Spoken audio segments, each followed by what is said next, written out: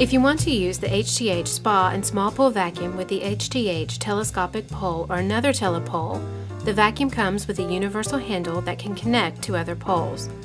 To assemble the vacuum for this use, you'll need to remove the handle connector.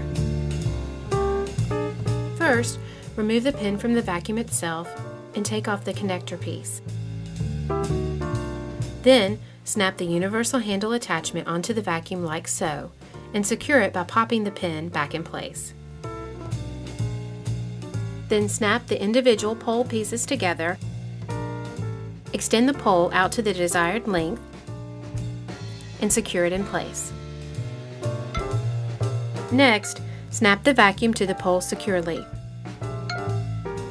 Finally, attach your garden hose to the vacuum and you're ready to start vacuuming.